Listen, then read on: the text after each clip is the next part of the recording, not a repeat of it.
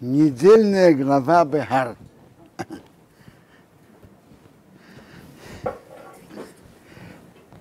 Нет, не длинная глава, короткая, но есть э, достаточно много интересных заповедей в нашей главе.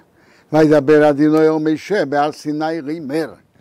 Бог Моше в горе Синай, говоря, Даберов на Исраил, говори сынам Израиля, в Марталеем скажи им, Кисовия Рорес, придете в землю, а на сын Лохем, что я вам даю, Вешов Соорет Шабас Радиной, чтобы земля отдохнула отдых перед Богом.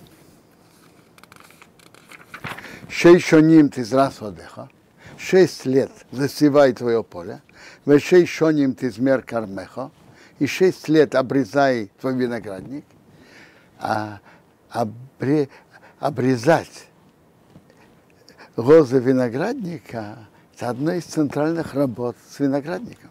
Васавтоство и будешь собирать ее урожай. То есть ты можешь делать из хозяйственной работы, и ты хозяин плодов, соберешь ее плоды. У вашего нашего и в седьмой год, шаба шабосен ерорес, будет полный отдых для земли. Шабос родиной, отдых во имя Бога. Сот хорей сизро, поле не засевай. Вехарма хорей сизмер, а виноградник не обрезай. Из фиах цирхо, то, что само выросло, сикцер, не женай. Весин вейнезирехо, и виноград, э, виноградника, который ты отдалил других от того, чтобы они туда вошли брали плоды, рейсивцер, не собирай. Ты не хозяин. То, что выросло само, ты не хозяин. Шнаша босенье роорец. Будет год отдыха для земли. Но что же, что же с плодами? Плоды можно есть, но ты не хозяин. Войсо шабосорец, будут плоды субботы земли, рохем рохо, вам есть, но для всех в равной мере. Рохо тебе, у рабдахо рамосехо, и рабу, и рабыне. Велисхирхоус и шовхо, наемному работнику и поселенцу, а горим ему, который живет с тобой. То есть ты имеешь право пользоваться плодами наравне со всеми другими. Соседями и не соседями. И даже в Ливемтхо, скоту, в Рахайо Ашабарцехо, зверю, который в твоей земле, ты ехал твой осо, будут все ее плоды, рехил есть. Плоды для всех. А, мецва интересная и непростая. А на, выполнить ее на практике. Дух ее в чем-то похож духу субботы. Как шесть лет, шесть дней работы, в седьмой отдыхай во имя Бога, так и шесть лет обрабатывай землю, а седьмой э, не обрабатывай. Но есть в этом еще, еще, еще одна, в этом это похоже на субботу. Но есть в этом еще одна важная сторона. Тут написано, когда вы войдете в землю, что я вам даю. То есть Бог да, дает вам эту землю. Вы должны понять, ощутить и вести себя так, с полным пониманием, что настоящий хозяин земли – это Бог. А вы тут арендари. Когда хозяин говорит обрабатывать, вы обрабатываете. Когда он говорит не обрабатывать, нет. И это, это мецва в этом, это декларация, заявление действием, что по-настоящим хозяином земли является Бог. Месофартолехо. Э, в настоящее время тут в земле Израиля тоже есть шмита. И это заповедь, которую не так просто соблюдать для, для земледельца. А в те годы, ка- ка- пока евреи тут жили, вошли в страну, все евреи были земледельцами. А вообще эта мецва очень непростая. Представьте себе, э, если кто-то не получает зарплату в течение трех месяцев, как он чувствует, ощущает себя, и как он живет. Вы знаете. А тут, когда человек не се, у ко- который обычно сеет э, злаковые или овощи, а в течение, а в год шмита он не засевает. А как говорят, не посеешь, не пожнешь. То он на, э, сознательно лишает себя прибыли на целый год. Непростая заповедь. Но мы дальше увидим, что насколько заповедь непростая, то браха Бога тоже необычная. Это правило. Бог относится с человеком, как и человек относится к Богу. Чем больше самоотверженность человека, еврея к митцвот, там больше браха. Шмите есть особая самоотверженность, есть особая браха. Весофарто рехо шева шапсей шоним. Посчитай себе семь лет отдыха. Шева шоним, шева помим. Семь лет, семь раз. Воюхо будет у тебя емей шева шапсей сашоним. Годы этих семи, семилетних лет, ты еще в обоим шону, 49 лет. Се- Семь раз проходит по, по семилетке, и седьмой год это год шмита, так 49 лет. Вавар то шифар тро. Проведи э, трубление из рога Бахида Шашви в седьмом месяце. Седьмой месяц это Тишрей. Биоцер Рахидеш. Десятый день месяца. Бьема Кипурим. В Йом Кипур. Тавиру Шейфо. Проводите э, трубление из рога Бахол Арцхем во всей вашей стране. То есть 50-й год была мецва трубить в рог в Йом Кипур. Вы кидаштем, осветите, Ишнаса Хамишим Шона, 50-й год, укросем дрыр. Объявите свободу Борет в стране Хоугишвел для всех ее жителей. Евелит и Елохем, это Явил будет вам. Вы шафтом вы вернетесь, и Шалахузосы, каждому своему наследственному уделу. Вы еще мишпахтей, то шубу, и, и человек своей семье вернетесь. То есть так. Дальше в нашей же главе написано, что в земле Израиля, как поделили землю, если кто-то продал свой участок земли, то это было только временная продажа до Явела. А в Явел каждый возвращает, возвращается земля обратно. Человек возвращается к своему уделу. А человек к своей семье возвращается, что если кто-то был продан в рабство, еврей, то в Йовел он возвращается к своей семье. Он выходит из рабства. Евреи это Йовел, Шнаса Хамишим Шона, 50-й год, Тирахем будет вам, Рейс из Ру, не засывайте. Но Рейс из Ру эсфихео. Не женайте то, что выросло само. В Рейс из Ру эснезирео. Не собирайте виноград от виноградника, что вы закрыли пользование им, брать плоды другим. То есть в Йовел те же законы, как и в Шмиту. Нельзя сеять, ты не хозяин над урожаем. Киевелы это Йовел, кол кейдеш ты Елохем, будет святое вам, мина соде с поля, ты хуествосо, будете есть ее урожай. Бишнаса Йовел Азейс, в этот год Йовел, то шува вы вернетесь, и шалахузосы, каждый к своему наслед, наследственному уделу.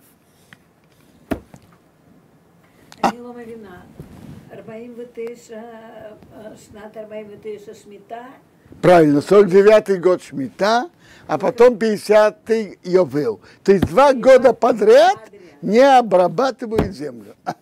Два года подряд. Не просто.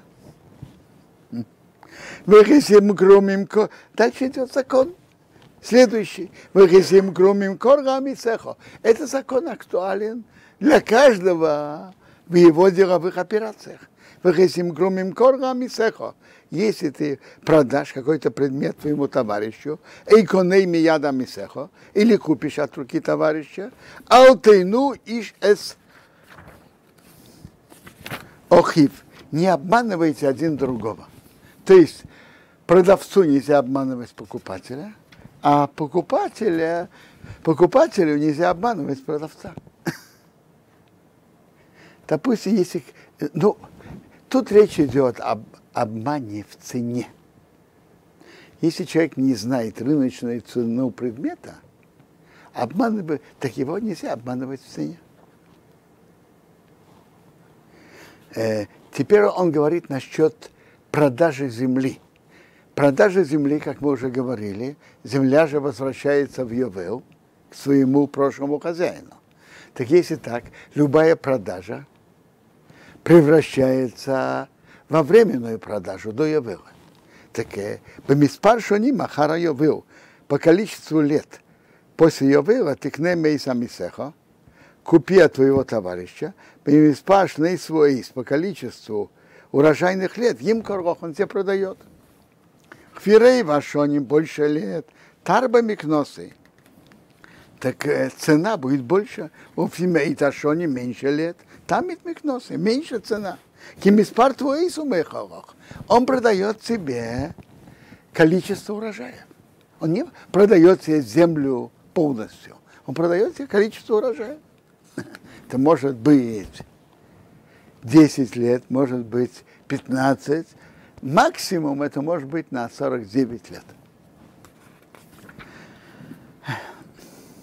То есть, если э, один из них не знает, сколько лет до Йовела, то нельзя его обманывать. Надо сказать, что ты будешь иметь право пользоваться землей столько-то лет. И, соответственно, этому цена продажи. Ну, еще сами сей. Не обижайте один другого. Бойся твоего Бога. Киани одино ерейхем. Потому что я Бог, ваш Бог. О чем идет речь? Так Гемора нам говорит, речь идет здесь, в этом предложении, не обижайте один другого словами. Предыдущее было написано, не обижайте денежно, а тут не обижайте словами. Не, не говорите другому слово, которое может его обидеть. Хотя это, хотя это и чистая правда.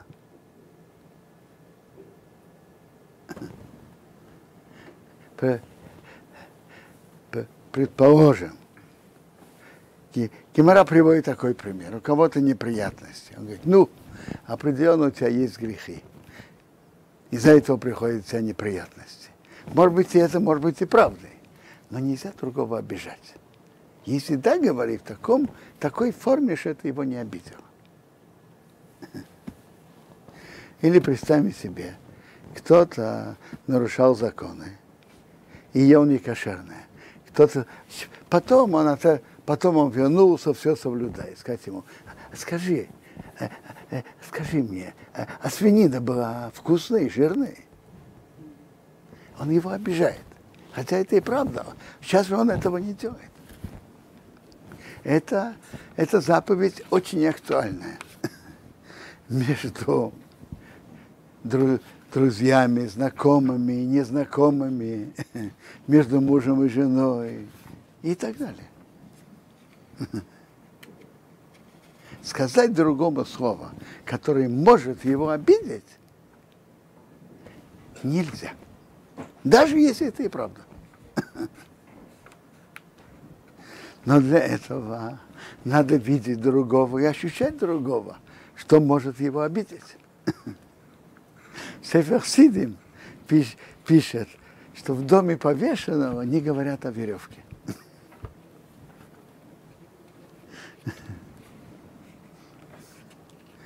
Рассказывает про Абшома Залман Ирба Хазацау, что на похоронах своей жены после нескольких теплых слов, что он сказал, они принято просить прощения. Он сказал, я, я думаю, что мне не за что просить прощения. То есть после 50 лет совместной жизни он чувствовал себя спокойно и уверенно, что он ее словом не обидел. Потом на какой-то случай он вспомнил и да попросил. И, впрочем, Шлема Залмен вообще не боялся просить прощения. Я встретил людей, что там он того сказал, просил прощения. Но просто он э, был осторожен и аккуратен. Его спросили, а вы что, считали то же самое во всем? Он говорит, конечно, нет. Но говорили так, чтобы не обижать один другого. ועשיסם את חוקי סי, ומשפטי תשמרו, ועשיסם и сом, соблюдайте мои законы, хуким. Это законы, которые мы человеческим разумом не понимаем, а мишпатим, которые мы да понимаем. Мецай тишмруба, васисем и сом делайте их. Вы ишавте орец роветах. Будете сидеть на земле спокойно. А, Тора нам пишет, что приводит к тому, чтобы мы жили на, на земле спокойно, соблюдать заповеди. Но, по-видимому, это предложение говорит в первую очередь про соблюдение заповеди Шмиты. Ведь это же в этой теме написано. Выносно орец перье. Земля даст свои плоды. Вахалтем росеива. Будете есть досыта. Вы шафтем робета хорео. Будете есть спокойно на ней. Это это то, что сейчас не хватает, и дай Бог, чтобы это было. И мы читаем, что для этого нужно, что, чтобы было соблюдение заповедей. Бехи Сеймру, а если вы скажете, обашо наш вис, что мы будем есть в седьмой год? А инренизро, мы же не будем засевать. Вы и не будем собирать наш урожай. Ветивиси. Так что мы будем есть? Ветивиси абихоси лохем. Я пошлю мое благословление вам. Машон Ашиши в шестом году.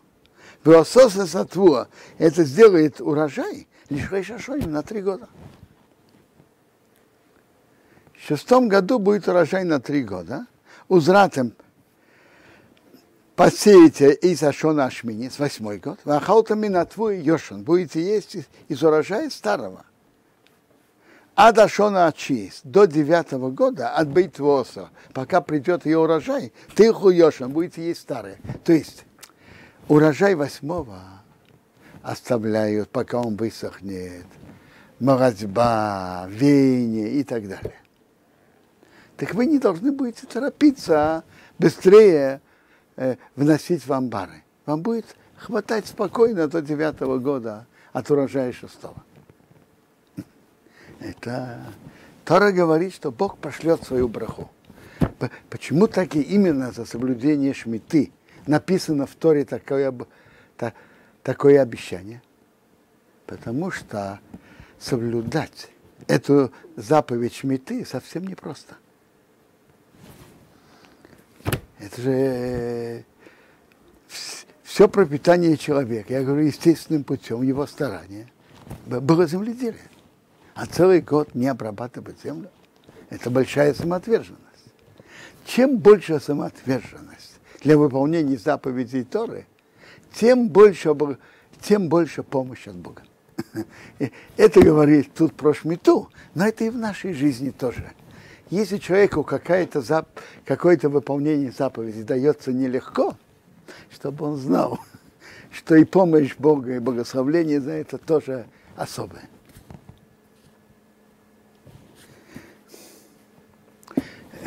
Но в нашей главе можно задать интересный вопрос.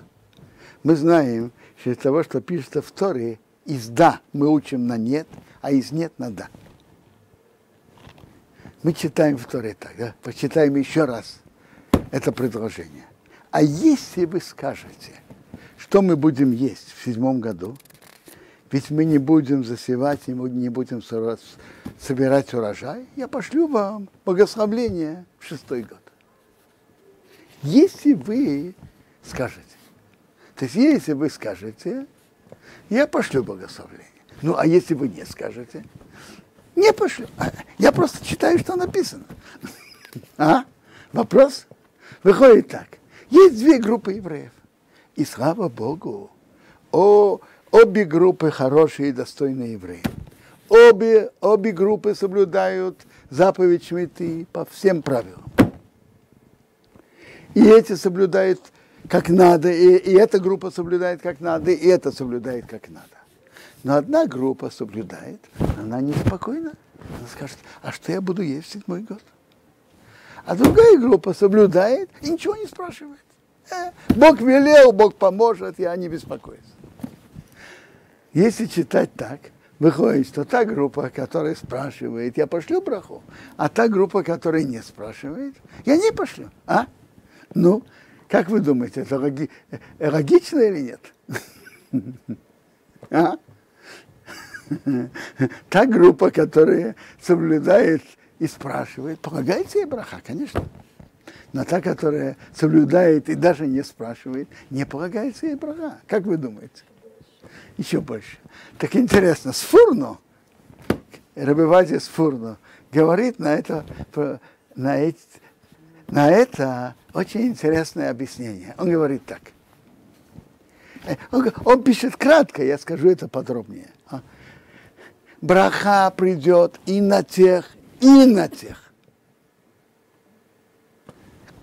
Но вопрос в какой форме.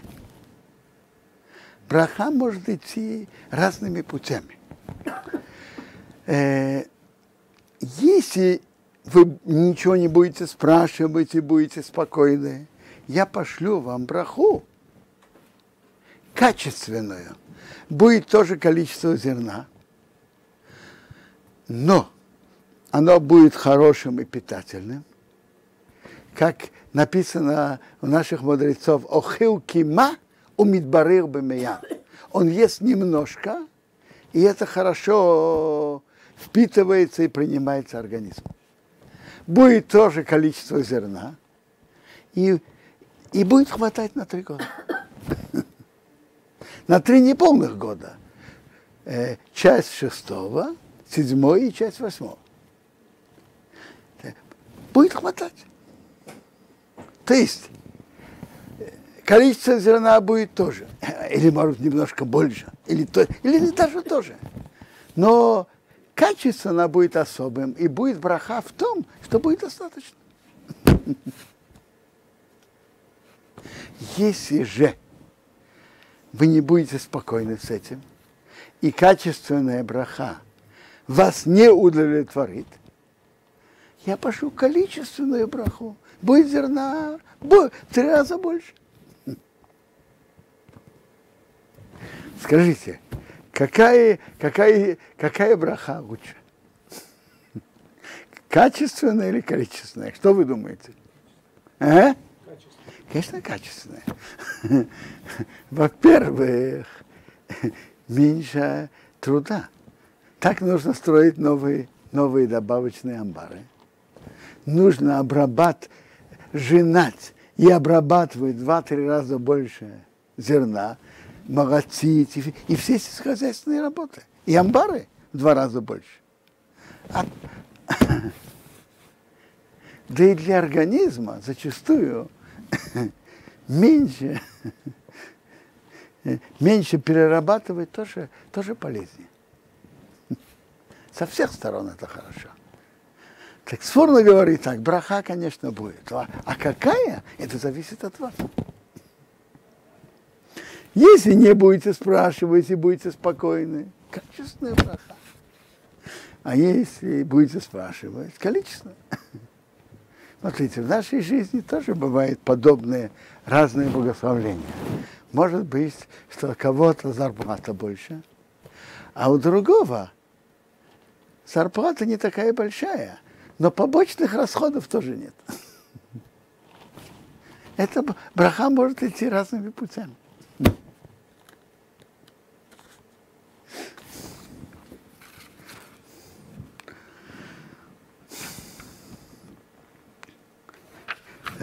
Дальше. В орец, а земля. Рейсимохер лицмисус. Чтобы не, не была продана окончательно. Земля Израиля. Нельзя, что она была продана окончательно. Кили орец, потому что земля моя, она Бога. Кигейрим высышовим, пришельцы и поселенцы, атомы и моды вы со мной. То есть Бог говорит земле Израиля, то, что поделили, когда вошли в страну, нельзя продавать окончательно. Нельзя. В год Йовейла должно все вернуться. Земля моя. Вы тут только арендары.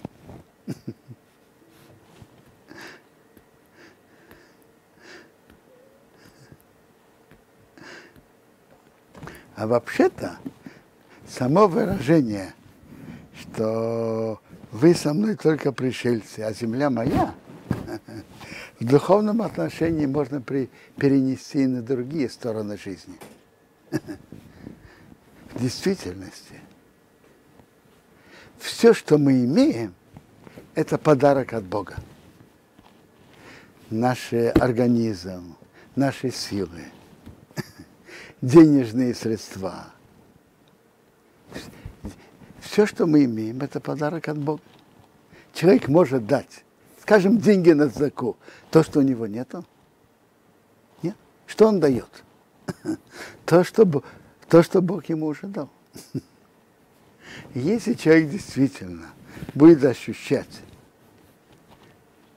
что по-настоящему все принадлежит Богу, если он что-то делает для Бога, св- своим телом, своими деньгами, своей энергией, он дает Богу из того, что Бог ему подарил.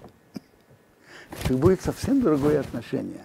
Он не будет чувствовать, что ему, что ему должны за то, что он делает и так далее. И, так. и он делает великие дела. То, что он делает великие дела, это правда.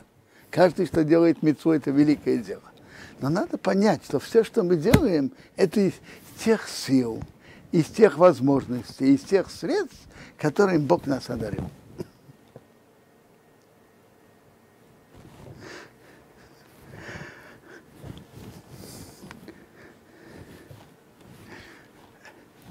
Кроме того, когда человек так ощущает, он чувствует приятно все, что у него хорошо, а то, что, то, что у него не хватает, ну, э, э, он получил в чем-то меньше подарок.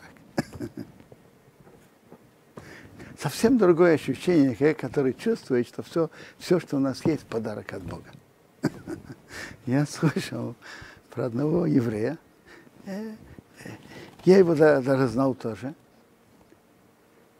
в возрасте совсем молодом, э, в два, около 20 лет, в гражданскую войну. Там же все время были перестрелки между бандами. То есть не перестрелки, что прощения. Одна банда захватывала другой во время гражданской войны. Так он был солдатом. И какая-то какая-то банда захватила их и поставила к стенке. И последний момент его оставили. Потом приехал в Израиль, построил семью и так далее. Внук рассказывает, дедушка в возрасте старше 80 и был очень болен и слаб и так далее. Спрашивает, дедушка, как ты себя чувствуешь? Что? Он говорит, что я могу говорить? Я получил от Бога 62 года подарок. Что я могу говорить? Все мои годы это подарок.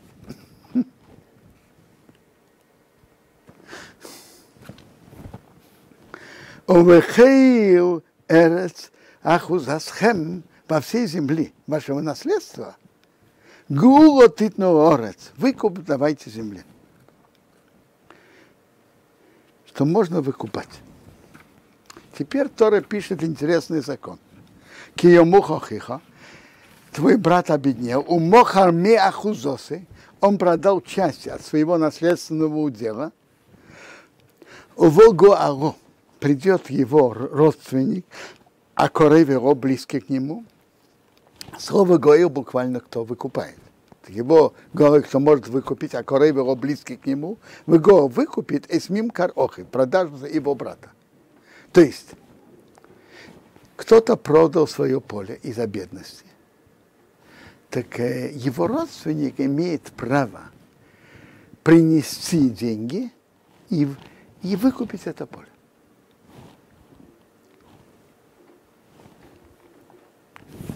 Интересно, Тора учит на своей форме, как надо себя вести. Во-первых, тогда же было, что э, земельный участок был источником дохода. Человек засевал, э, сажал, и от этого он жил. Чтобы человек не продавал свой земельный участок, говорят нам мудрецы, только если он обеднеет. Просто так не продавай, это же источник твоего пропитания. И даже если ты продаешь, ты вынужден продать. Написано, он продал часть своего участка. Не продавай все.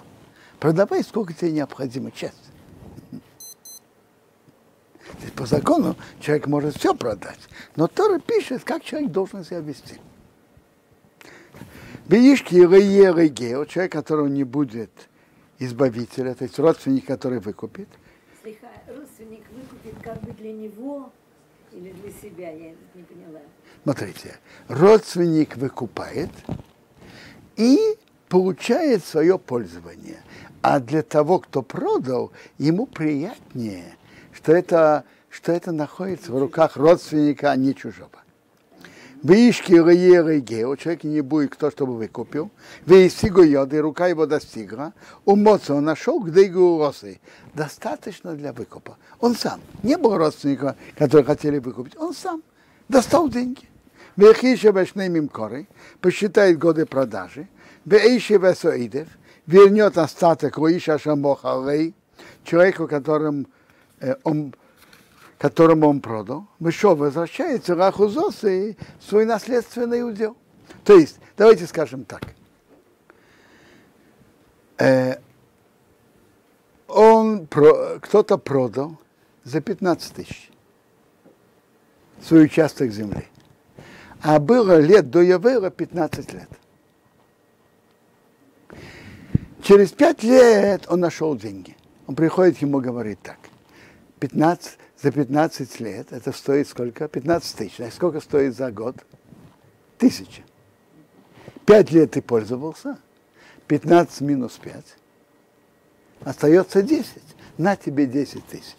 И тот не, не имеет права отказываться. Он обязан принять эти деньги и вернуть поле.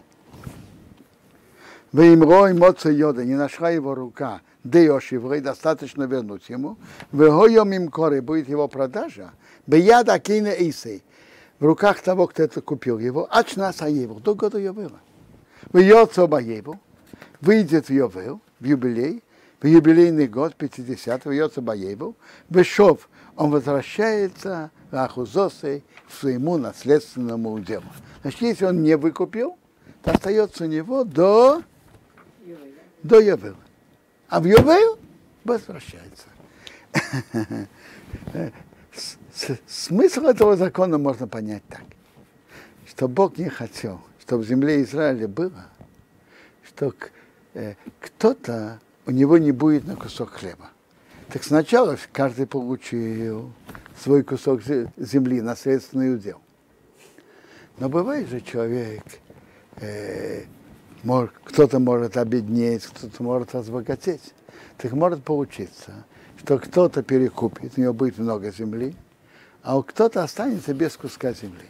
Так Тора установила правило, что все продажи могут быть только до года Йовера, а потом все возвращается. Вы ищ человек кемкер бейсмешав ирхеймо, человек продаст место проживания – в городе, окруженной крепостью, Войсел Гуилосы будет выкуп от тем шнасмим корой до конца года продажи. Йомим год, тие Гуилосы будет его выкуп. Этот, смотрите, в, городе, окруженном крепостью, это город, это место проживания, дом. Так дом, он имеет право выкупить до окончания года. Принести деньги, положить на стол – и дом возвращается к нему. Вимрей Гойра, если не будет выкуплено, от Мрейс Рейшона мимо до наполнения целого года, Веком Абайс Ашабоир, станет дом, который в городе, Ашалей Хейма, у которого есть крепость, Рацмисус, на окончательное, э, отрезанное, Ракейнейсы, кто покупает его, Лидерейсов на его поколение, Рейейцы Баеву. Это не выходит в год Ювил. Не выходит юбилейный год. Значит, до года он может выкупить, а потом это уже полностью переходит во владение покупателя. У боты Ахацери, а дома в открытых городах, ашер эйнлаем хеймо совив, нет у них крепости вокруг, а узды орес ехошев, это считается как поле земли. Гуотеры, если выкуп у него будет, то есть его можно выкупить, и у был яйцей. А в, юбилейный год выходит. Если он не выкупил, юбилейный год выходит.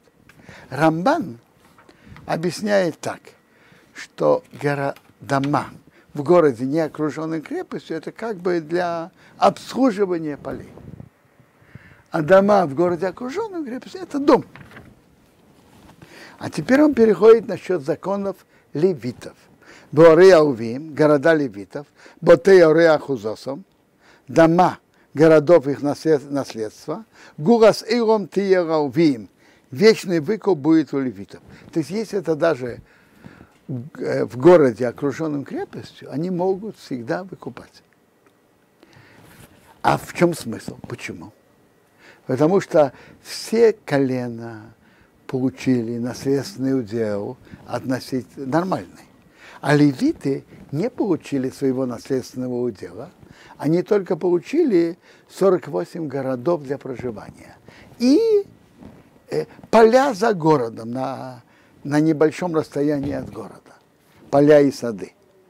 То есть получается, что у них э, то, что они получили наследственный удел, очень, очень мало. Поэтому они имеют право выкупать всегда. Ваша Игал Минорвим, кто выкупит от левитов, так вьется, выйдет мим карба из продажи дома в Ирахузосы, город наследства Баеева в Почему? Кибот вот и Ореалвим, дома городов левитов и Ахузосом. Это их наследство. Бесебно Исраил среди сынов Израиля. Говоря другими словами, Тора как бы говорит, это их единственное наследство. И оно очень малое. Поэтому Тора установила, чтобы это не было, э, чтобы это не вышло от их рук. У сады Миграшореем, поле возле их городов, Бога, чтобы не было продано, а, то есть окончательно. Кяхузас эйром урохем, потому что это вечное наследство для них. Они имеют право выкупать.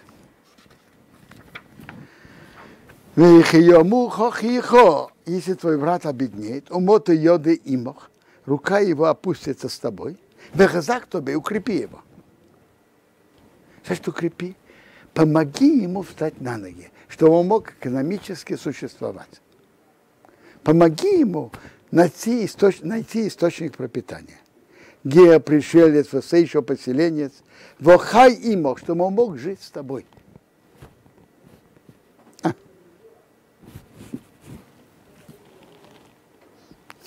Раша говорит, пока человек еще не упал, можно ему легче помочь.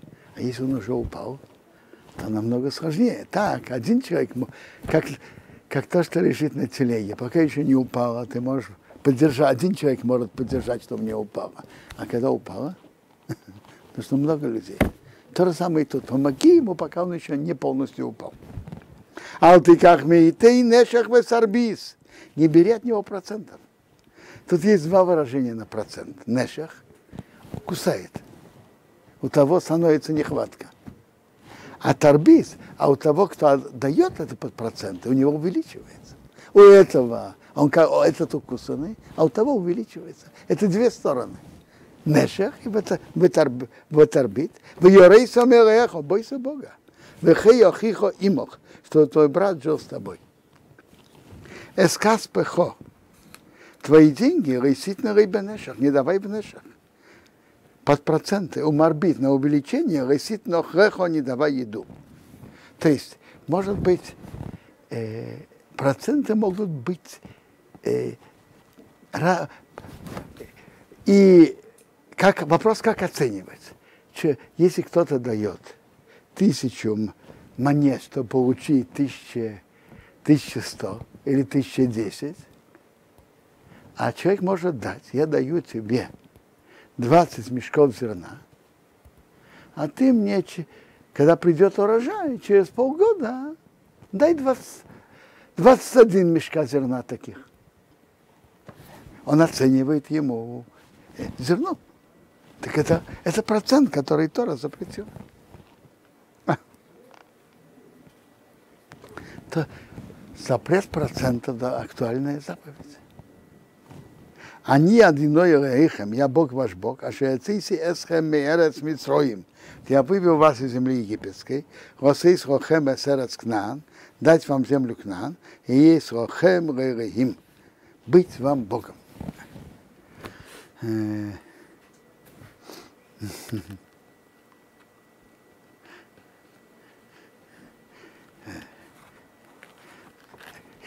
Я вам скажу, бывают разные актуальные случаи процентов. Я скажу простой пример. Кому-то нужно срочно деньги, чтобы купить квартиру. Он подходит к тете. Мне срочно не хватает 100 тысяч. Тетя говорит ему так, послушай, я могу тебе это одолжить, но у меня деньги на закрытом счету в банке, и там прибавляется к этому какая-то сумма. Я готова тебе дать, но то, что я потеряю, ты должен мне вернуть. С человеческой стороны это вполне можно понять. Но надо знать, что по закону Торы это процент. То, что банк тебе готов давать процент, давать прибавку, это твои отношения с банком. А твои отношения с племянником, ты даешь ему столько-то и требуешь у него больше.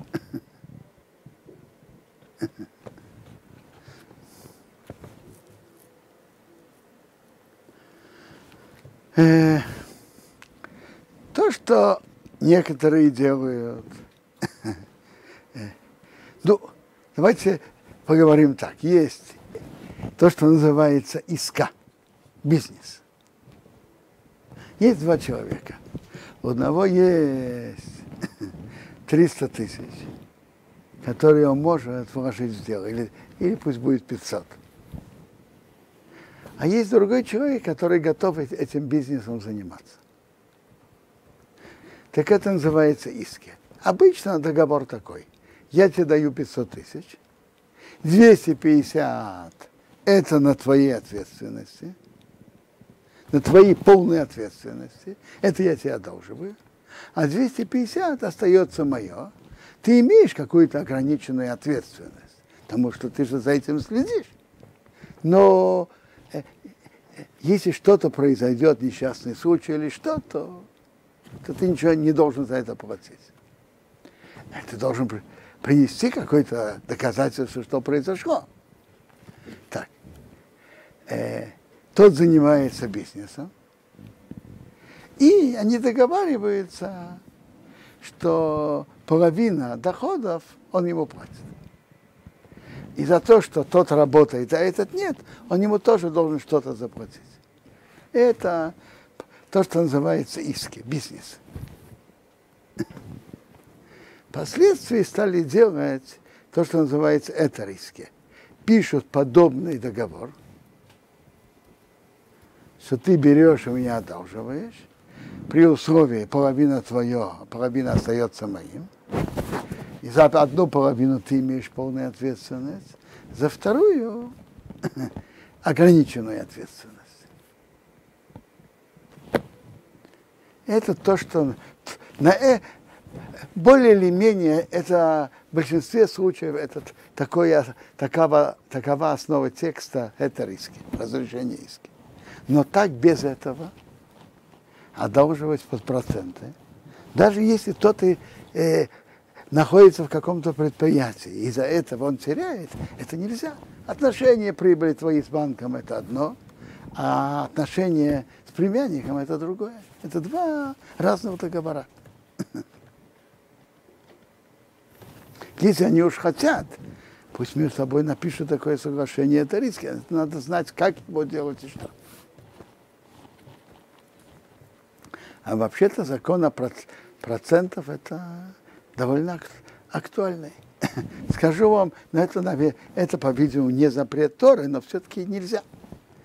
Кто-то приходит покупать холодильник. Продавец ему говорит, смотри, если, если ты сразу платишь в день, что ты получаешь холодильник, то стоимость холодильника 3 500. Если ты даешь, э, покупаешь карточкой с 10 оплатами или там чеками, то плати 10 оплат по 370. Это тоже как процент. Это не называется процент по Торе. Почему? Потому что тут нету вообще-то, он ему не одолживает. Он же покупает. Но это, но это тоже нельзя. Это тоже запрещено. Есть магазины, которые вообще не объявляют, сколько, сколько они хотят, если заплатишь сразу, когда ты получаешь, получаешь холодильник. Они просто говорят, мы, мы продаем по 10 оплат по, по 370 карточки, допустим. Э? Это нормально.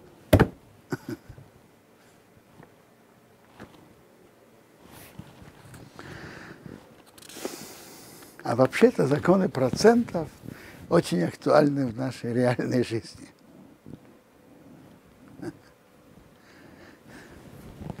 И хорошо их знать и выполнять.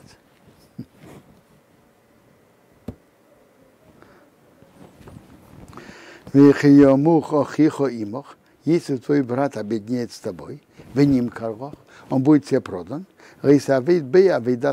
не работай с ним, э, работ, рабскую работу.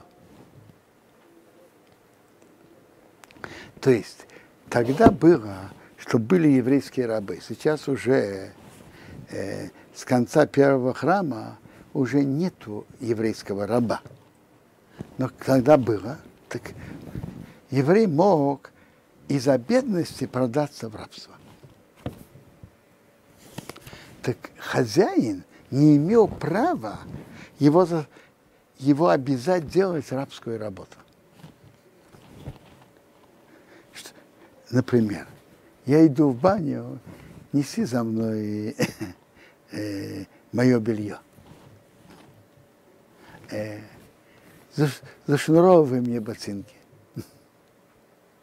Это, э, это унижающая, э, это работа раба, который унижает. Но как? Кесохир, Кесейшов, как наемный рабочий, как поселенец, и е имох, он будет с тобой. Ачнаса его, я видимох. До года его он будет работать с тобой. Бьется мимо, он выйдет от тебя, у вонов имей, он и его сыновья с ним, вешовал мишпахтой, он вернется к своей семье.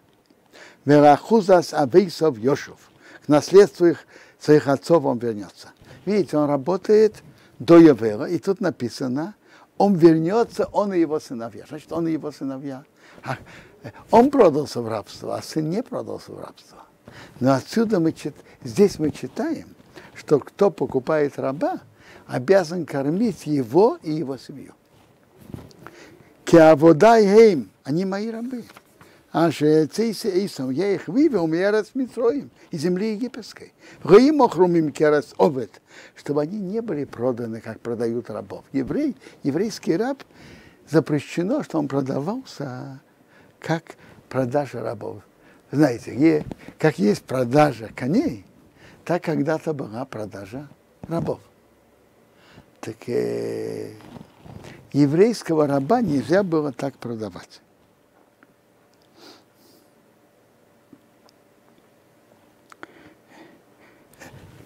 но просто сообщают, что тут есть человек, который хочет податься раз, но не поставить его на какое-то, я не знаю, место продажи публичное. И его приходят, может быть, щупают и так далее. Это запрещено. Рейсиадовей в форах, не имеешь права работать с ним изнурительно. Раша говорит, работа, которая не нужна. Вот почему вот эти кирпичи лежат здесь. Давай, переложи их туда. А через два дня он ему скажет, переложи их обратно. Так это нельзя. Бойся твоего Бога. А вот вы Абдухова Мосхо, твой раб и рабыня Ашаиро будет у тебя Мейса Геем от народа ваша Свивейсейхем, который вокруг вас. Мем тикну Эвет Веомо. От них можете покупать раба и рабыня. Вегам Ибне Хатишовим. А от людей поселенцев, Хагорим и Мохим, которые живут с вами –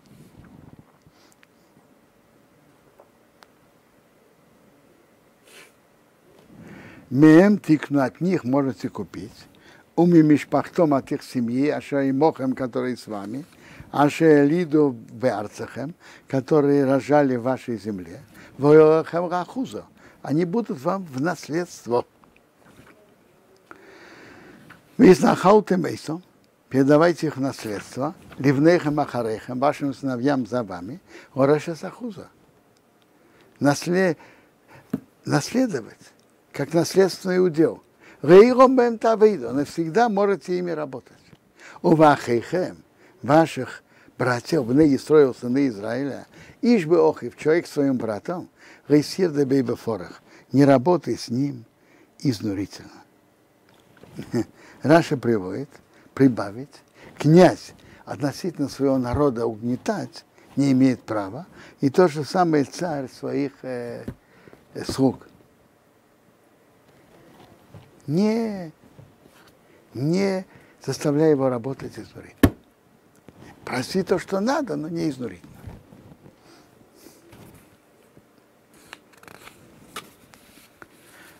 А дальше идет закон, если еврей продался в рабство не еврею. Вехисасик, когда настигнет яд герва тысяча в имах, рука пришельца и поселенца с тобой, у моха хихо имей, а твой брат обеднел с ним, венимкар, он был продан, регер ты еще в имах, поселенца с тобой, и мишпаха с гер, или он продался э, для, для храма идолов, значит, для храма идолов, не чтобы он там служил, но чтобы он там, я знаю, подметал, помогал, Так, а, да, даже так, еврей, который попал в такое положение, Ахрей Нимка, после продажи, он поступил неверно, он не должен был там туда продаваться. Но все-таки Ахрей Нимка после продажи, голод и еврей, чтобы был у него выкуп. Эход ми эхоб Егорену. Один из его братьев должен его выкупить.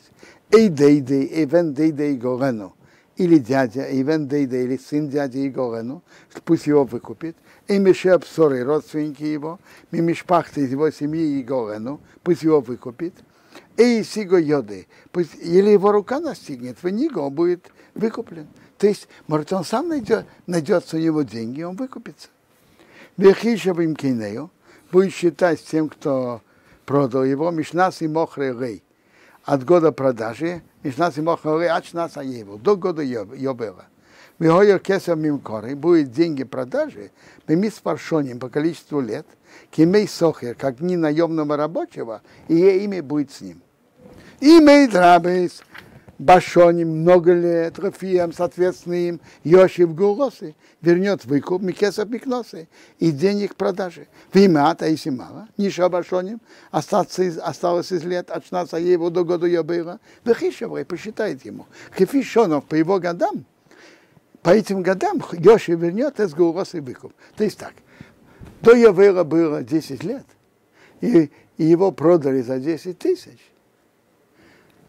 То каждый год тысяча. Прошло три года, на три тысячи он отработал. Сколько надо дать, чтобы выкупить? Семь. Кисхир, как наемный, шоно бешоно. Каждый год ей имя будет с ним. Рейердену беферах, чтобы он его не угнетал изнурительно рейнеха перед твоими глазами. Когда еврейский суд видит, что он его, его заставляет работать изнурительно, он должен ему это не позволить.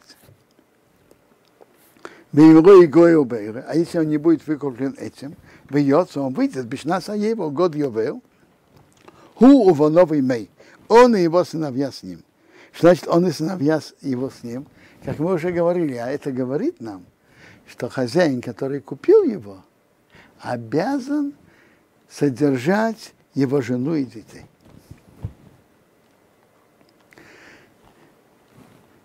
Теперь Тора говорит, как, на каком основании в год юбилея он выходит. Киливна Исраил работаем. Для меня сыны Израиля рабы. А вода я им, они мои рабы. А жрецы Саисом Ярос Митроим, который вывел их из земли египетской. Мой документ, его дата раньше, они мои рабы. Они одиной рейхом, я Бог ваш Бог. Он купил тогда, а я, а я, говорит Бог, я купил их, когда я вывел из Египта. Дата моего документа раньше. Поэтому мои права на них сильнее. И в год Йовел он выходит. Теперь, тут Тора обращается к тому, кто продан не еврею. Он видит, его хозяин служит идолам. Его хозяин нарушает субботу. И так далее. Так ему хочется вести себя наподобие хозяина. Тора говорит нет. Даже ты продан не еврею. И ты у него не учись. Рейсасура хамелилим, не сделайте вам идолов. У Фесел вылета изваяние у Мацейбо. Э, Мацейбо это из одного камня, где приносят жертву. Рейсо киморохем, не ставьте вам. В Эвен Маскис. Земль, камень, который покрывает, реситну в Арцахем. Не давайте вашей земле, Риштахавей Сорео граница на ней. То есть нельзя кланяться на камнях на земле. Нельзя. Ки они одиной грехом, потому что я Бог ваш Бог. Вы обратили внимание, в Роша Шана и Янкипур, когда кланяются перед Богом, не кланяются на пол, а подкладывают что-то. Есть такой запрет Торы. Почему? Потому что идолопоклонников было так принято. Кланяться на каменный пол. Так Тора это нам запретила, даже перед Богом. Эцавшисай тишмейру, мои субботы соблюдайте. У Мигдоши Тироу, моего храма бойтесь. Они одиной, я Бог.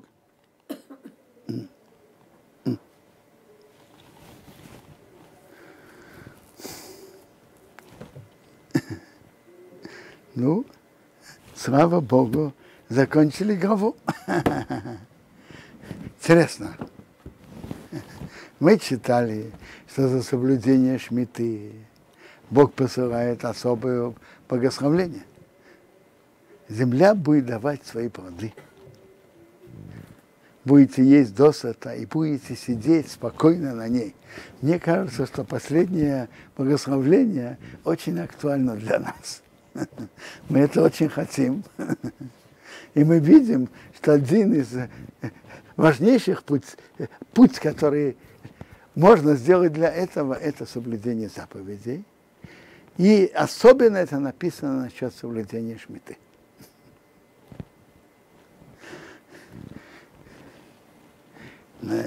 Когда еврейский народ соблюдает шмиту, так э, Бог продолжает нам, дает нам дальше право пользоваться землей.